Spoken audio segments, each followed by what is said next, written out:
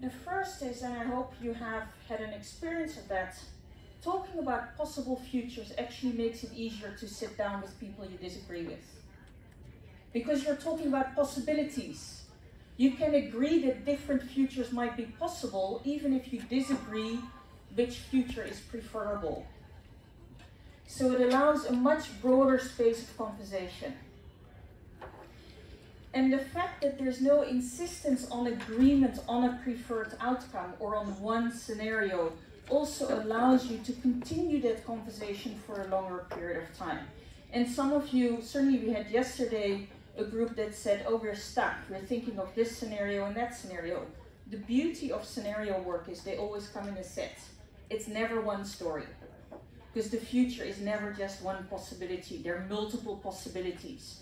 And you better be prepared to think about the range of possibilities. So in this sense, disagreement and different perspectives actually help you in your strategic thinking rather than limit you.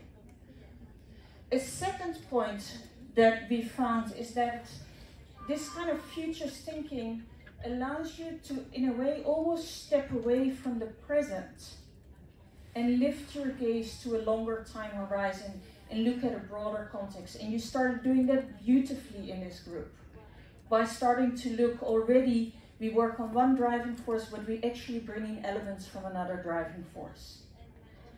A third reason is that it's at the moment what you've had is had a conversation with people that are committed and focused on the justice file.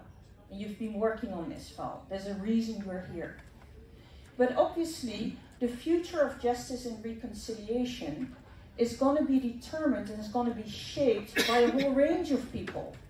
People with different interests and different priorities in relation to justice and reconciliation.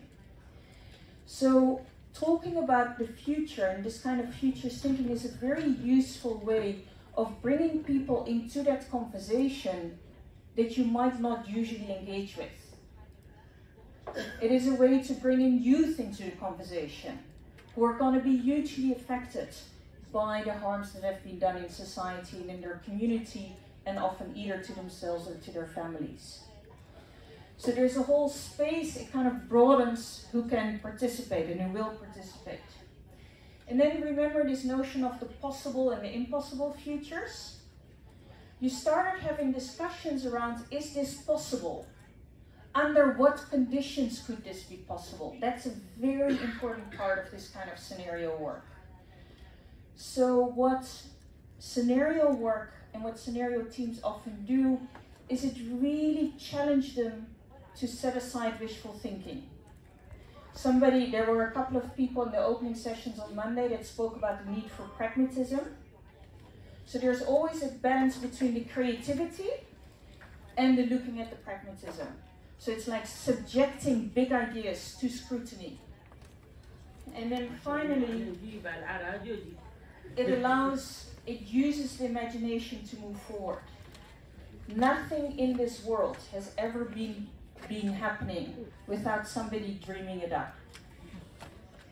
Imagination is an incredibly powerful tool because the more able we are imagining, the more we can help shape a future we want to bring about.